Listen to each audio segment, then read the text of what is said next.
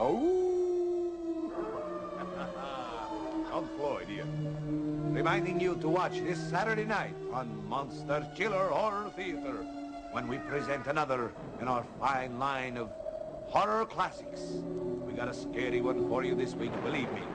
This was a great film. It was made in 1956, I believe, and it's a 3D special. That's right. It's called